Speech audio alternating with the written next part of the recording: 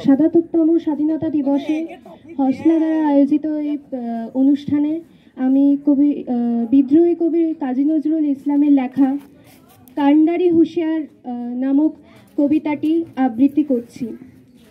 কান্ডারি হুঁশিয়ার, কাজী নজরুল ইসলাম।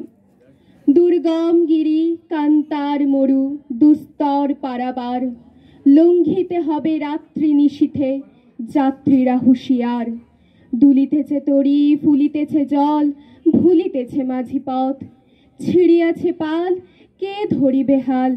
আছে কার হিম্মত? কে আছো জোয়ান, হও আগোয়ান, হাঁকিছে ভবিষ্যৎ। এ তুফান ভারী, দিতে হবে পারি, নিতে হবে তরি পার।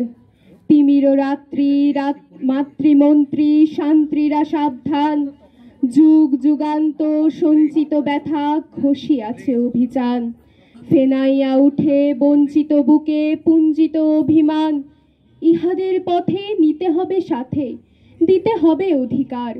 অসহায় জাতি মরিছে ডুবিয়া, জানে না সন্তরণ। কাণ্ডারি, আজি দেখিব তোমার মাতৃ মাতৃমুক্তিপণ। হিন্দু না ওরা মুসলিম, ওই জিজ্ঞাসে কোনজন? কাণ্ডারি, বল ডুবিছে মানুষ, সন্তান মোরমার। গিরি সংকট ভীরু যাত্রীরা গুরু গর্জায় বাজ। পশ্চাৎ পথযাত্রীর মনে সন্দেহ জাগে আজ। কাণ্ডারি, তুমি ভুলিবে কি পথ? ত্যাজিবে কি পথ মাঝ?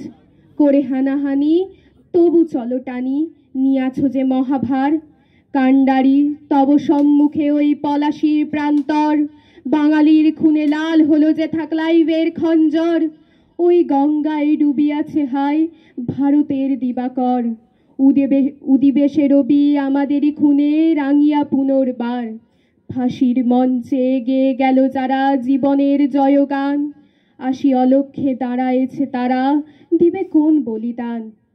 আজি পরীক্ষা, জাতির অথবা জাতির করিবে ত্রাণ? দুলিতেছে তরি ফুলিতেছে জল। কাণ্ডারি হুঁশিয়ার। নমস্কার।